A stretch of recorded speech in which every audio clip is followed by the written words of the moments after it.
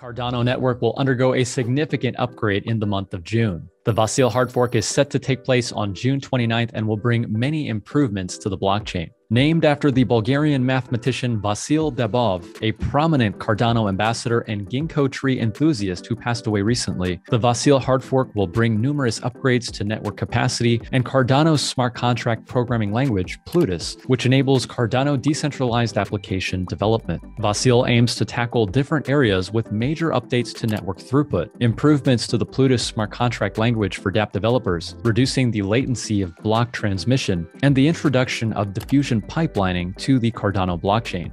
Along with the Vasil hard fork, there are a number of Cardano improvement proposals which are ready to be implemented to the network. CIP31 creates a new way for developers to reference an input, allowing them to look at the result of an output without having to spend it. Datums in transaction outputs provide a way to store and access information on the blockchain. However, they are quite constrained in a number of ways. Most notably, in order to access datum's information, you have to spend the output that the datum is attached to. This requires the recreation of a spent output. In practice, this throttles some applications to one operation per block, thus decreasing the desired performance. This is where reference inputs come in. CIP31 allows looking at an output without spending it and recreating it. This means multiple dApps can read from the same datum at the same time. This optimizes transaction throughput and increases concurrency.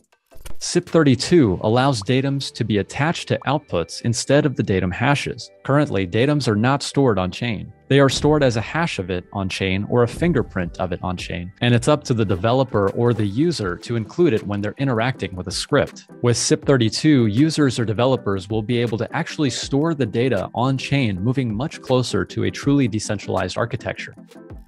CIP33 allows reference scripts to be attached to outputs, so the reference scripts are used to satisfy the validation requirements. These Plutus reference scripts will in turn make transactions smaller and make the validation process more efficient.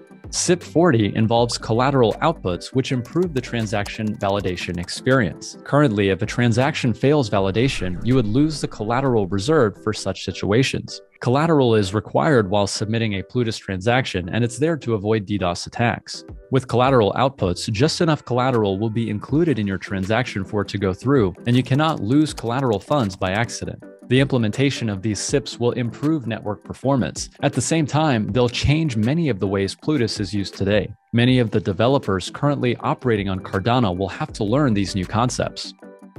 Another upgrade that will occur with the Vasil hard fork is called diffusion pipelining. Diffusion pipelining is an upgrade towards block propagation time, important to improve network scalability as the Cardano blockchain sees more dApp deployment. The core of diffusion pipelining is to have blocks be transmitted without full validation while at the same time making changes to the consensus layer to improve block propagation across nodes. The main information that must be preserved for propagation is the block's header. Basically, all the metadata associated with the block and the hash referencing the previous block. The body of the block is preserved on the metadata contained in the next block, so that would make the network resistant to DDoS attacks even without full block confirmation. The update will also lead to an increase in the size of the block, which would give much more space for data to be saved into each block added to the ledger. The final result is that these combinations of improvements and optimizations will lead to a much faster and scalable network.